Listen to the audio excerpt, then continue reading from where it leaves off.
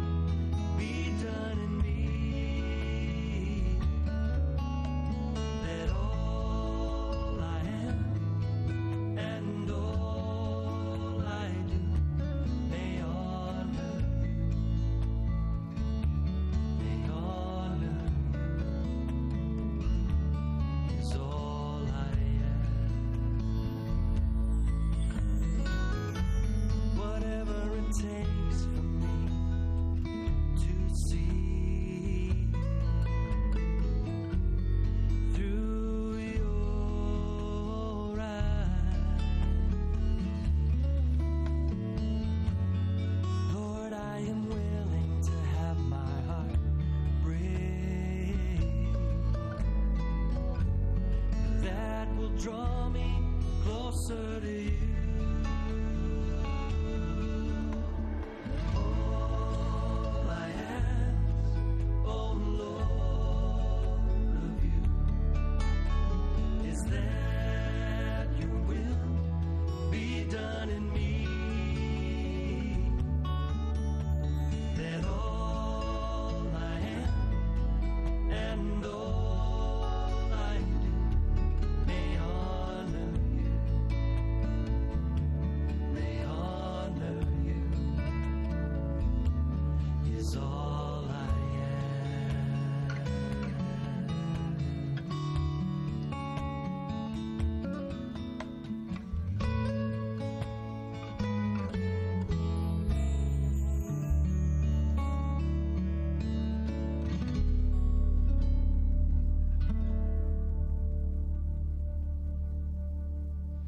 The Apostle Paul was nearing the end of his life when he wrote some personal remarks that many think would have been appropriate for his tombstone. He said, I fought the good fight, and Paul was engaged in the battle for people's souls. He also said, I've kept the faith in the midst of so many trials and hardships. The writer of most of the New Testament remained resolute. And then he said, I finished the course. He completed the life God had laid out for him. These are great words, but it's not the epitaph that the old apostle had in mind.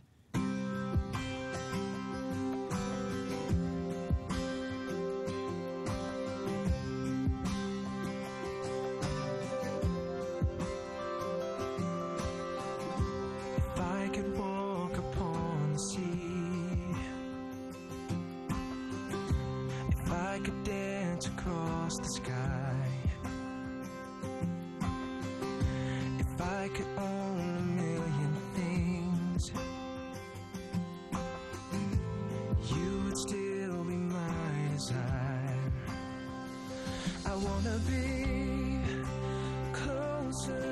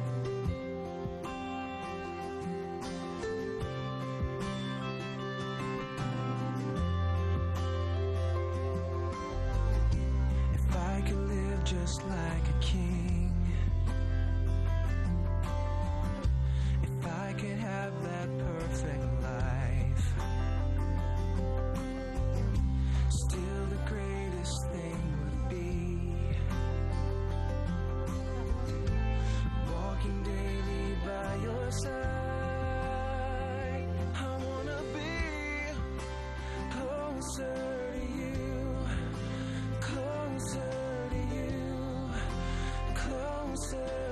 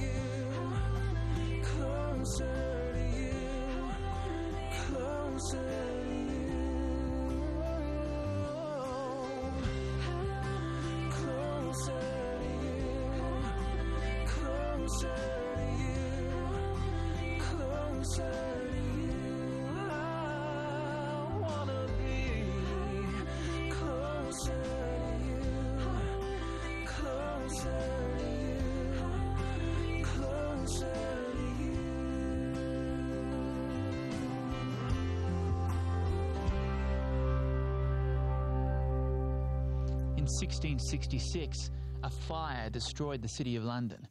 After the fire, England's greatest architect, Sir Christopher Wren, was commissioned to rebuild the city. The buildings he designed included government institutions, universities, theatres, and over 50 churches, many still standing today.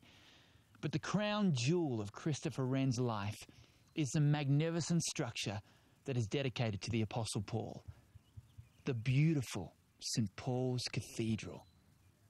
Christopher Wren was the first person to be buried there. There's no epitaph for him. Instead, there is a Latin inscription which reads If you seek his monument, look around you. The Apostle Paul wanted his epitaph not to be words, but instead to be people. Paul wrote, You are a letter from Christ the result of our ministry, written not with ink, but with the Spirit of the living God, not on tablets of stone, but on tablets of human hearts. Apparently, it's not necessary to look to the future to imagine what your epitaph will be. The sum of your life is being carved right now in people. To read it, you need only to take the advice of an old Latin inscription and simply look around you. Thank you.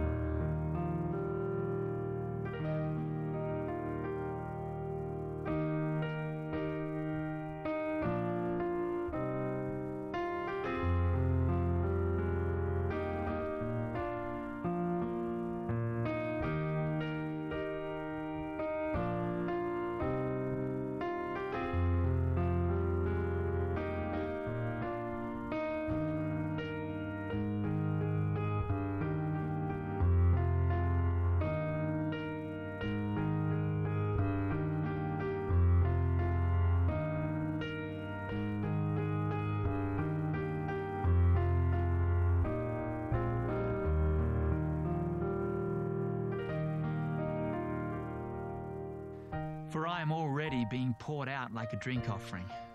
The time has come for my departure. I've fought the good fight. I've finished the race. I've kept the faith. Now there is in store for me the crown of righteousness, which the Lord, the righteous judge, will award to me on that day.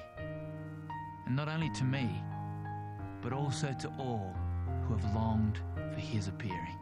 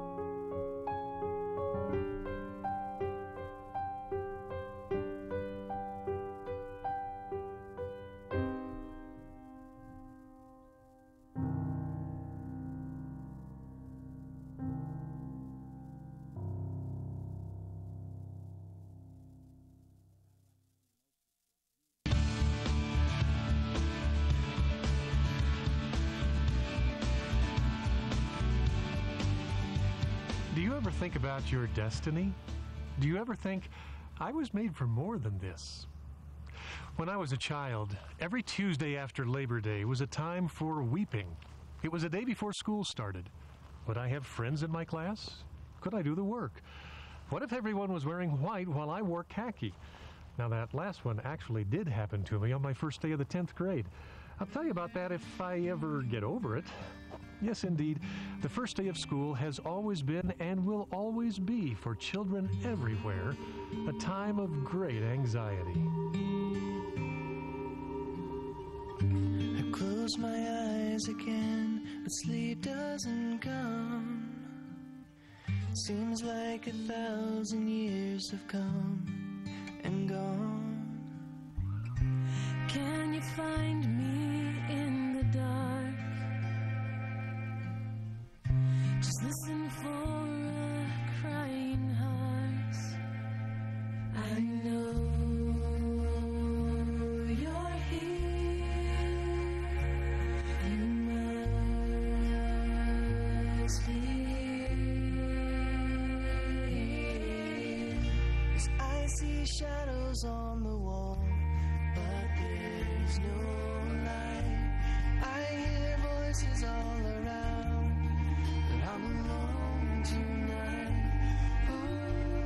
gentle touch,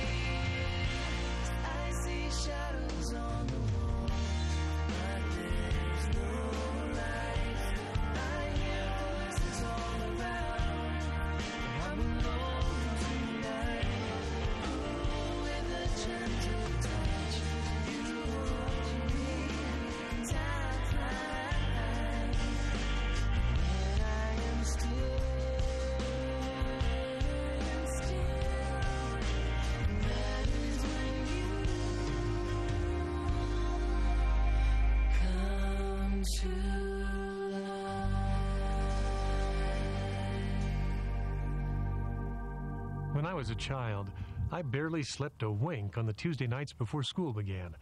But I was never given a choice about going to school. Dad did not come into my room and say, Paul, your mother and I talked about it, and you do not have to begin a new grade tomorrow. Nope, always had to go. And by the third or fourth day, things were always fine. September's hard when we're young. Hard enough we spend the rest of our lives trying to avoid additional experiences of it. We stay in a job we long ago mastered because the kids don't want to move.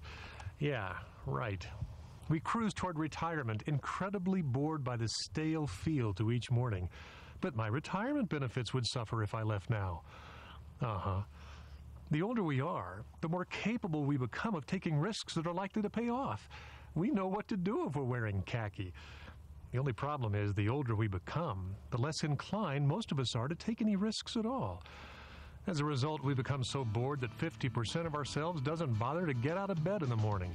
When we crawl under the sheets at night, the part that stayed in bed all day asks, Was it worth it? No, not really, we sadly reply. We die shortly after those retirement benefits kick in. The cause of death? Sheer boredom.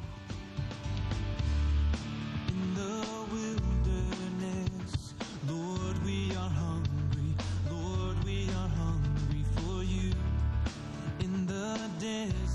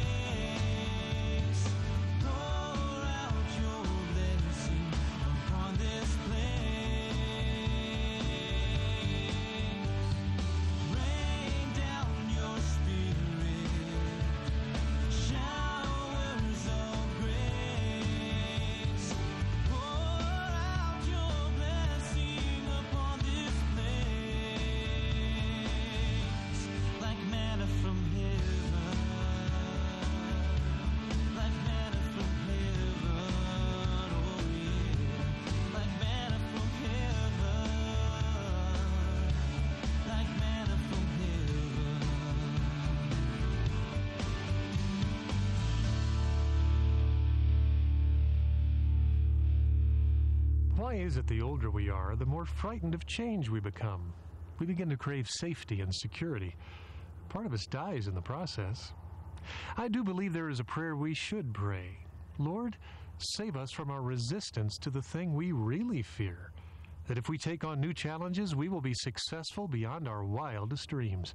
If we say yes to you, we will be blessed beyond anything we have ever imagined. And yes, challenged beyond anything we can comprehend. And if that happens, there will be no end to the risks you will ask us to take. And my, oh my, what will we do then?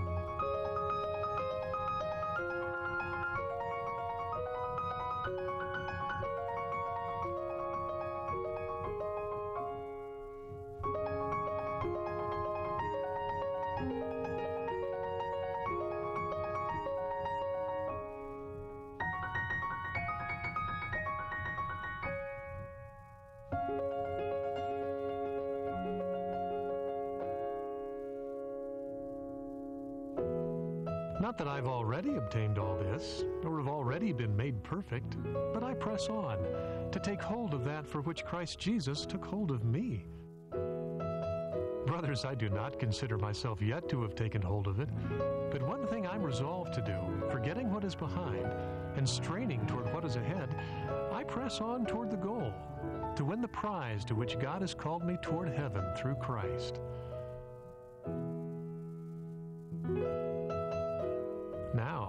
To him who is able to do exceeding abundantly beyond all that we ask or imagine, because of his power at work within us. To him be the glory in the church and in Christ Jesus through all generations, forever and ever. Amen.